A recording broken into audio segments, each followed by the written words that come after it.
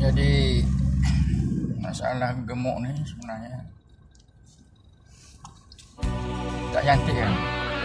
Perempuan. Lebih baik. Diet diet jaga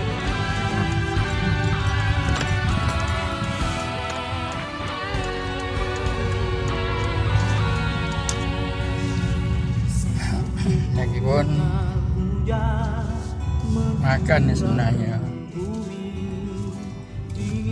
Tak ada keperluan. Bukan untuk berlebih-lebihan. Makan cukup rasa. Sepatutnya berhenti makan sebelum rasa kenyang itu pun disarankan oleh hadis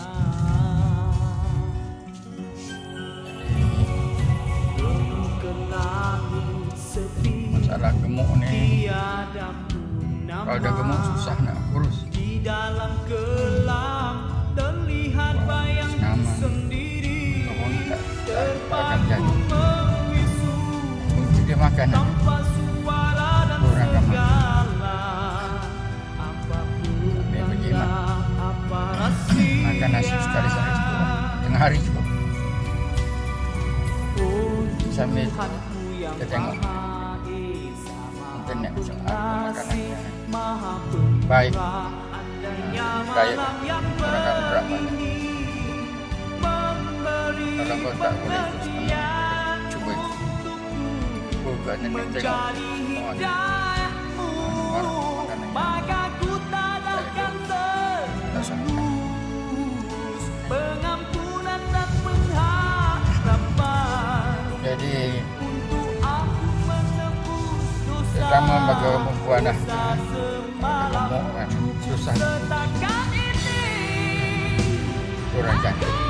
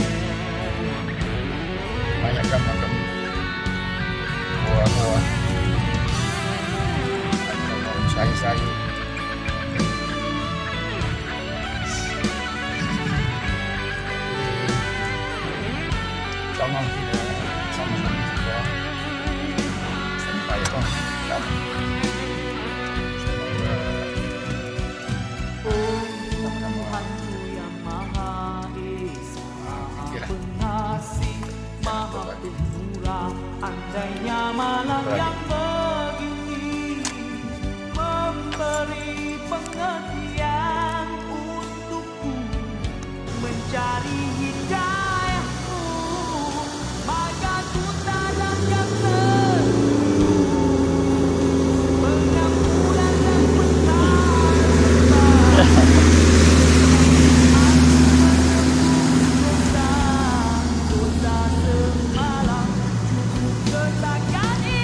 Tata. Tata. India Bali